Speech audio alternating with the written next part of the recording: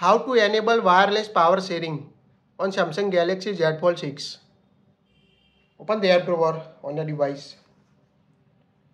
Tap the settings app. Now scroll down up to battery. Tap on a battery.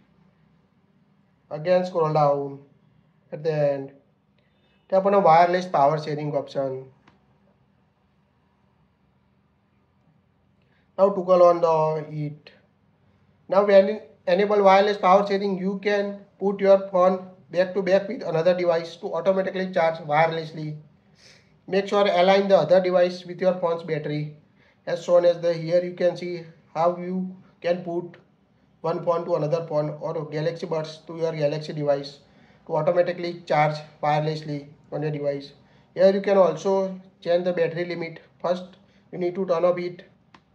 Tap on a battery limit here you can set the battery limit. When reach the limit, it will automatically stop charging other device. Here we select the 30%. Tap on OK. Charging will stop when your phone reaches the battery percentage you set.